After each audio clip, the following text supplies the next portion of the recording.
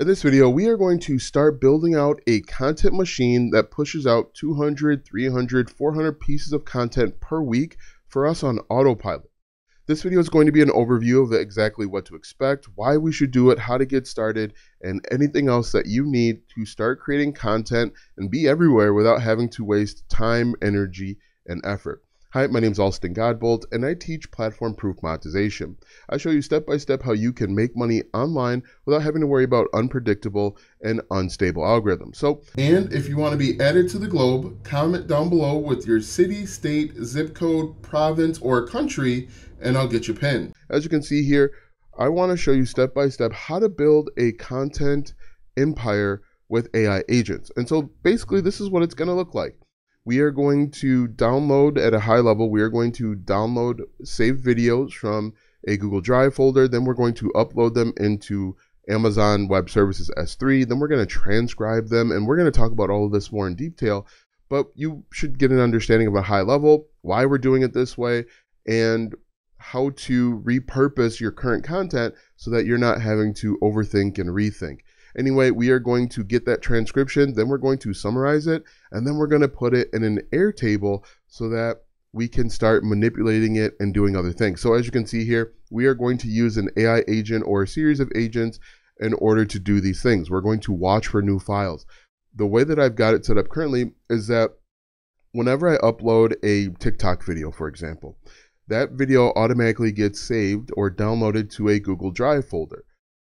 Because of that, I can trigger this automation that you see on the screen, and it allows me to essentially start the process of being everywhere. I can create text posts, images, I can do threads, I can do all, all of this stuff without me having to invest a lot of time. And the best part about this is that you can get started with all of this without being coding, without being a coder. You don't need a ton of knowledge. You just really need to have a want to in order to learn how to do this stuff and then you can be successful.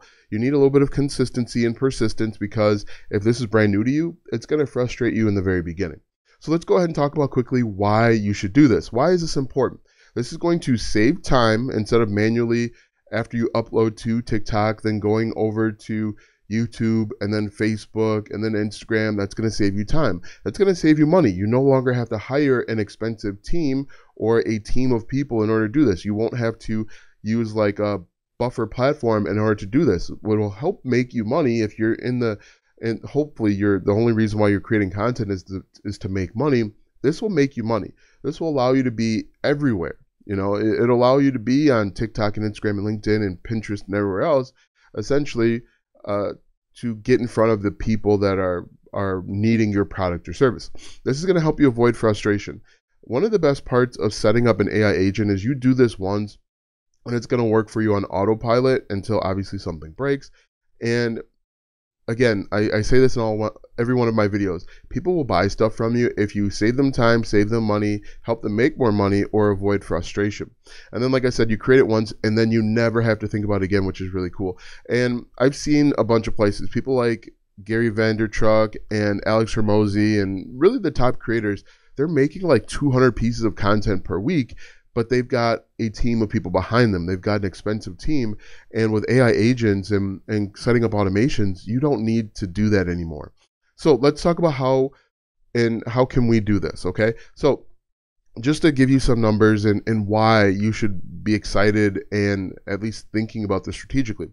Facebook has over 3 billion active users every single month. YouTube 2.5, Instagram 2 billion, TikTok 1.6, Snapchat 800, Twitter 600, Pinterest 470 million, Threads 200 million. And why is that important? And combined, that's over 11 billion people, that uh, monthly users. That's important because your audience, the people that are going to buy from you, are on these platforms, regardless of your age, regardless of your niche. They're there, and they're looking for a product or service. They, they might not know it yet, but they you have something that you can give them in exchange for money. And the other thing you got to realize is that your customers aren't all in one place, right? Your customers aren't all on Facebook. Some of them spend a little bit of time on Facebook, but most of their time might be on Snapchat. So you want to be where they are and you want to be what's called omnipresent, just be everywhere. All right. So uh, just did some quick math 0.01% of 11 billion is 1.117 million users.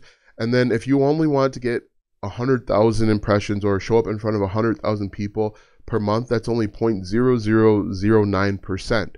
Okay. That's really important because if you, let's say your goal is to make 10K per month, you don't need a lot of traction in all of these different places, especially if you're showing up omnipresent, right? And now because we can do this, we can create audio content, visual, so like images, and even text content on autopilot for every single platform. Now, quickly, let's go ahead and talk about the tools that we need. We I, I was using Make for a while. I switched over to N8N. I think it's a little bit more powerful.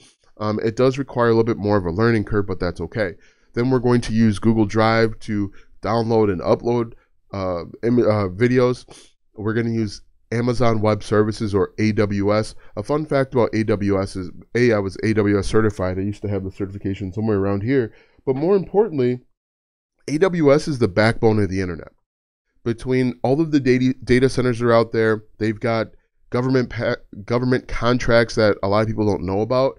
AWS is incredibly powerful, and you're probably using it and you don't even realize it. For example, a few years ago, my um, AWS went down for a time, and I couldn't log into my my school my my school system. It's because the backbone of the internet's AWS, and, and a lot of people don't realize it. Anyway, we're going to use AWS and not Whisper. There's a reason why, and I'll talk about in just a moment. We're going to use OpenAI to help summarize, and then a Airtable to store it. So uh, let's talk about some use cases. Two very important ones create unlimited content. So if you are a content creator and you want to expand your reach and potentially make more money, you can. This is a great use case. But more importantly, let's say you're not a content creator. Uh, let's say you want to work with content creators or small businesses. You want to remain in the background. You could create a service. And the way that I create these different AI agents, I do it what's called um, I modularization. Okay, if you've seen AI agents before, some people, and I'll talk more about modularization in just a second, some people will create AI agents where the workflow is doing 400 things. And I think that's wrong, and I'll talk about it in just a moment. What I want you to do is I want you to create workflows that solve a specific task. It has one job. You literally have one job. Think about it if you worked in an office. Jan from accounting only works on accounts receivable. She doesn't do accounts receivable and then she doesn't do uh, accounts payable, then data entry, and then she's not loading the the the boxes on on the shipping dock. Jan only does accounts receivable. She might not do it great, but she that's her her only responsibility. And that's how I want you to think about building your AI agents. Don't build these huge, massive things. Um, I'll talk about more in just a moment. I'll get off my my soapbox with that. But uh, what you can do is you can sell this service to others. And the way that I envision it is you could work with small businesses or content creators, and then you can offer different packages. So for package one, you offer three repurposing services. So they can pick Instagram and LinkedIn and Twitter. Uh, the the second level, they can pick seven different uh, social media platforms, and then on the, the the highest level, they could do twenty. Okay, and if you build it out the way that I suggest that you build it out, you can quickly repurpose, you can plug and play and be interchangeable. Anyway, um, I'm actually, I don't know that I'm going to give this blueprint away. Um, I'll put a link in the description if you want it. Anyway, quick note about mod- modularization. This something, this is something really important to me. And you want to, you want to modularize your, your programming, your workflows, your code. And as I elaborated a little bit earlier, Jan from accounting only does accounting. She doesn't, she's not responsible for getting the CEO coffee. And an, another thing that you want to consider is that when you build out these huge workflows that do seven, eight, ten different tasks, if one thing breaks early on in the chain, it can shut down your entire system. And so you want to have these independent workflows that won't break when you are when something else breaks. Let's say a credential expires, a token expires. That's more technical. But let's say a token expires. You don't want that to shut down your entire operation. So build out small their functions basically, but build out small workflows that do a specific task, and but then you can call those workflows or uh, store the data somewhere that you can go get it. Anyway, um, as it says there, modularization prevents mass failures. It's quickly, easily repurposed.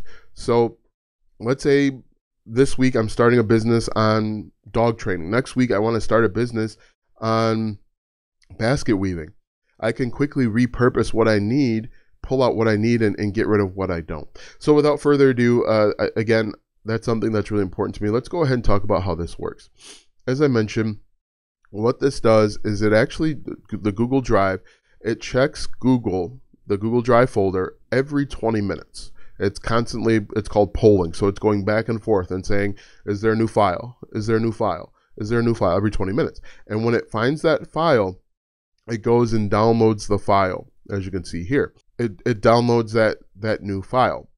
And then once it downloads that file, it uploads it to AWS or Amazon Web Services S3. Now, the reason why we have to do it this way is because we're going to use AWS to transcribe this.